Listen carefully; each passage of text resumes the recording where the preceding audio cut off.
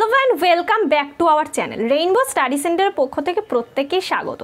তো বন্ধুরা, গতকালের ক্লাসে কিন্তু আমরা অযৌন জনন সম্পর্কে পড়েছিলাম এবং তার আগে আমরা অঙ্গজনন সম্পর্কে পড়েছিলাম। আজকে মোটামুটি ওভারঅল একটা ধারণা দিয়ে মোটামুটি আমরা যৌনজনন এবং অপুংজনী নিষেক সবটাই কিন্তু ওভারঅল কভার আপ করার চেষ্টা করব। তাহলে ঝটপট করে ক্লাসটি শুরু করি। দেখো, সবার প্রথম আমরা আগে জানব যৌন জনন। যৌন জনন কাকে বলে? যে জনন প্রক্রিয়ায় দুটি অসম আকৃতির ভিন্নধর্মী জননকোষ অর্থাৎ ধরো পুং গ্যামেট এবং স্ত্রী গ্যামেটের মিলনে অপত্য জীব সৃষ্টি হয়, তাকে মূলত আমরা যৌন জনন প্রক্রিয়া বলতে পারি। এবার এই যৌন জনন প্রক্রিয়ায় গ্যামেটের কথাটা কি উল্লেখ রয়েছে? জনন প্রক্রিয়ায় উৎপন্ন একককে আমরা গ্যামেট হিসাবে প্রকাশ করি।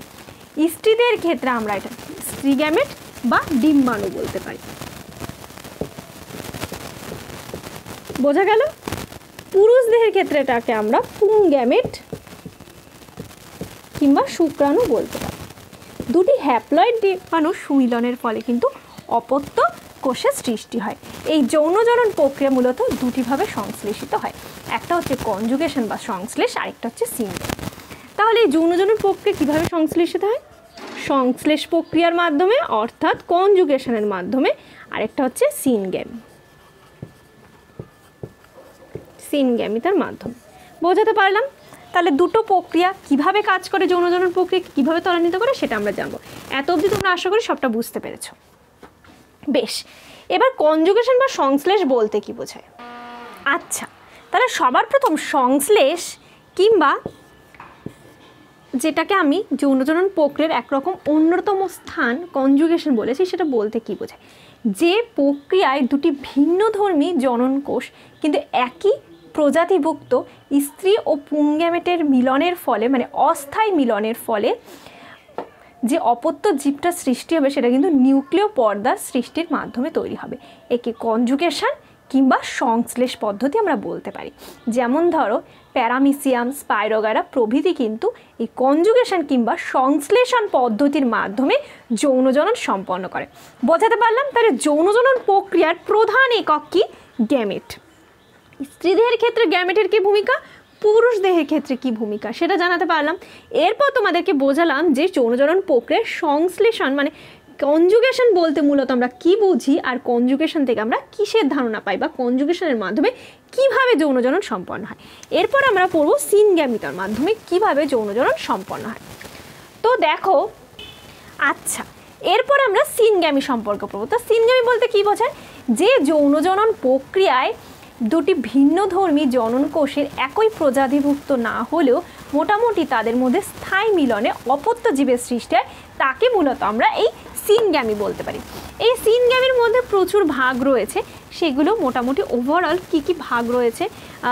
আইসো অ্যানাইগ্যামি এগুলো ভাগ রয়েছে। এগুলো মোটামুটি একটা ধারণা পেলে তোমরা মোটামুটি যৌনজনন প্রক্রিয়ার একক কি? স্ত্রীদের ক্ষেত্রে, পুরুষদের ক্ষেত্রে কীভাবে এটা কার্যকরী ভূমিকা লাভ করে? সংশ্লেষণ কিংবা কনজুগেশন কাকে বলে? সিনগ্যামি কাকে বলে?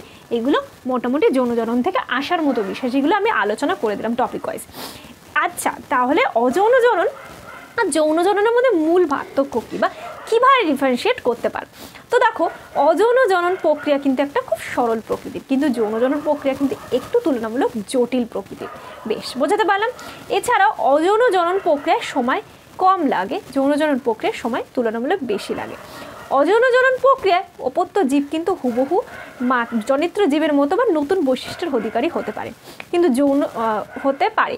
কিন্তু যৌনজনন প্রক্রিয়া কিন্তু নতুন বৈশিষ্ট্যের অধিকারী না হলেও অপত্য জীব কিন্তু একদম জরিত্র জীবের হুবহু নাও হতে পারে।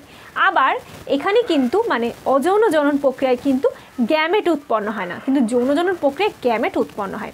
এছাড়াও অযৌন জনন প্রক্রিয়ায় কিন্তু মূলত একটি জীবের মধ্যে সম্ভাবনা থাকে মিলন ঘটার বা একটি জীবের প্রয়োজন হয়। কিন্তু যৌন জনন প্রক্রিয়ায় স্ত্রী ও পুংদেহের প্রয়োজন হয়। তাহলে বোঝাতে পারলাম যৌন জনন আর অযৌন জননের মধ্যে মূলত যে বেসিক কনসেপচুয়াল ধারণা রয়েছে আর কীভাবে ডিফারেন্সিয়েট করতে পারবে পুরোপুরি ধারণা কিন্তু এরকমভাবে বেস্ট করা। বেশ, এরপরে আমরা পড়ব নিষেক সম্পর্কে।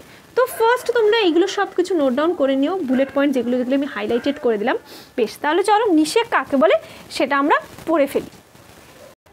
আচ্ছা এরপর তাহলে আমরা পড়ব নিষেক সম্পর্কে, তাই তো? এগুলো মুছে দিই।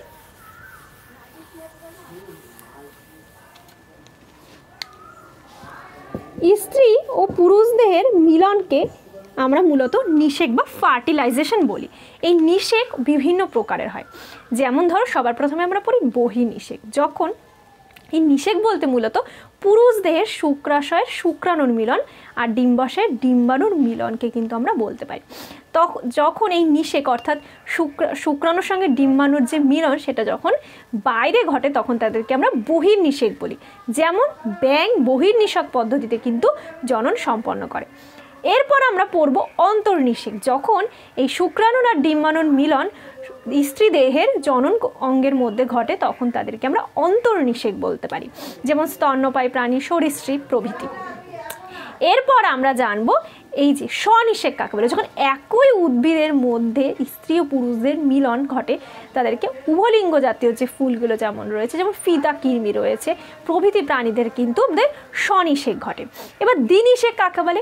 এরকম অনেক উদ্ভিদ রয়েছে যাদের পুংজনন কোষের মধ্যে দুটি পুংজনন কোষ, একটি ডিম্বাণুকে নিষিক্ত করে জাইগোট সৃষ্টি করে, আরেকটি নির্ণীত নিউক্লিয়াস যেটা তোমরা প্রত্যেকে ছোটোবেলায় কম বেশি পড়েছো টু এনকে বিশ্লেষিত করে থ্রি এনে রূপান্তরিত করে। এদেরকে আমরা দ্বিনিষেক বলতে পারি, অর্থাৎ দুবার নিষেক সম্পন্ন হয়েছে। তাহলে নিষেক কিন্তু বিভিন্ন প্রকারের হয়। নিষেকের কনসেপচুয়াল ধারণা আশা করি ক্লিয়ার আউট করতে পেরেছ। তাহলে নিষেক কাকে বলে? নিষেক কত প্রকারের হয়? নিষেক কী কীভাবে ঘটে? সবটা কিন্তু আমি ডিটেলস তোমাদেরকে আলোচনা করে দিলাম। বেশ, এরপর আমরা নেক্সট টপিকে চলে যেতে পারি তাহলে নিশ্চয়ই? আচ্ছা এরপর আমরা জানব অপুংজনী সম্পর্কে। তাহলে জনন প্রক্রিয়া মূলত অঙ্গজ জনন, অযৌন জনন, যৌন জনন, সবটা কিন্তু জানার পর আমরা সর্বশেষ আলোচনা করছি অপুংজনী সম্পর্কে। অপুংজনী কাকে বলে? যে জনন প্রক্রিয়ায় নিষেক ছাড়াই স্ত্রী ও পুরুষ দেহে মানে যে মিলনটা ঘটছে, সেটা কিন্তু এক প্রকার মানে স্বনির্ভর গোষ্ঠীর মধ্যে অনিষিক্ত ডিম্বাণু থেকে সরাসরি অপত্য জীবের যে একটা ট্রান্সফরমেশন বা সৃষ্টি, তাকে মূলত আমরা অপুংজনী বলি। এই যে অপুংজনী বাহ্যিক কোনো শর্তের প্রভাবে কিংবা শর্তের প্রভাব ছাড়াও কিন্তু অপুংজনী ঘটতে পারে।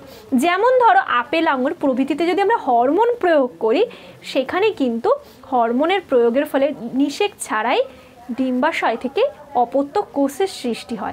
কিন্তু, অর্থাৎ বীজ থেকে ফলের মানে ফলের সৃষ্টি হচ্ছে। এই ফলের মধ্যে কিন্তু বীজ থাকছে না। কারণ আমরা প্রত্যেকে জানি বীজ থেকে ফল সৃষ্টি হয়। কিন্তু হরমোন প্রয়োগের ফলে ডিম্বাশয় সরাসরি পরিস্ফুট হয়ে ফলে পরিণত হচ্ছে। এখানে বীজই থাকছে না।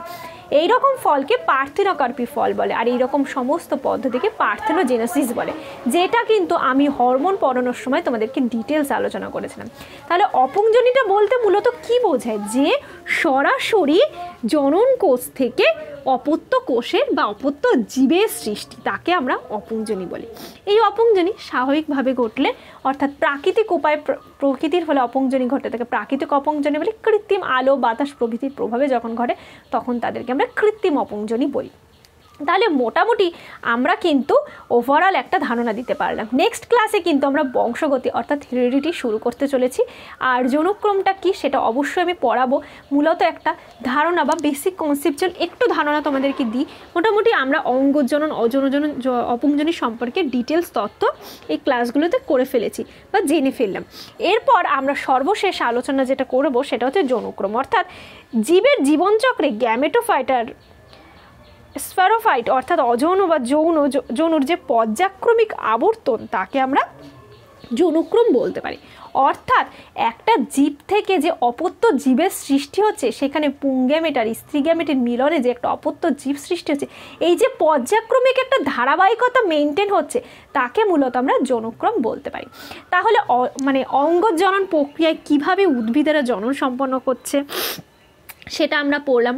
অযৌন জনন প্রক্রিয়া কীভাবে ত্বরান্বিত করছে জনন প্রক্রিয়াটাকে? আজকে আমরা পড়লাম যৌন জনন সম্পর্কে নিষেক কী, অপুংজনী কী সেগুলো সম্পর্কে কিন্তু আজকে আমরা পুরো ডিটেলস একটা কনসেপচুয়াল ক্লাস করলাম। তাহলে আজকের ক্লাসটি কেমন লাগল অবশ্যই কিন্তু আমাকে কনস মানে কমেন্ট সেকশানে জানাবে। আর তোমাদের কনসেপচুয়াল যে ধারণা, এই চ্যাপ্টারটির উপরে কেমন হয়েছে, কোন কোন বিষয় আরও জানার রয়েছে বা আরও পড়ালে তোমাদেরকে আরও সুবিধা হবে, সেগুলো অবশ্যই আমাকে জানাবে। জানাতে একদম ভুলবে না। দেখা হচ্ছে অন্য একদিন নতুন একটা একটা ক্লাসে যেখানে আমরা হেরিডিটি শুরু করব। চ্যাপ্টারটা ভীষণ ইন্টারেস্টিং মনোযোগ সহকারে ক্লাসগুলো করো। আশা করি প্রত্যেকে উপকৃত হবে। বাই, দেখা হচ্ছে প্রত্যেকের সঙ্গে আগামী দিনে নতুন একটি ক্লাসে। আর চাইলে তোমরা কিন্তু যে বুলেট পয়েন্টগুলো আমি এতটা ডিটেলস তোমাদেরকে বুঝিয়ে দিলাম নোট ডাউন করে নিতে পারো।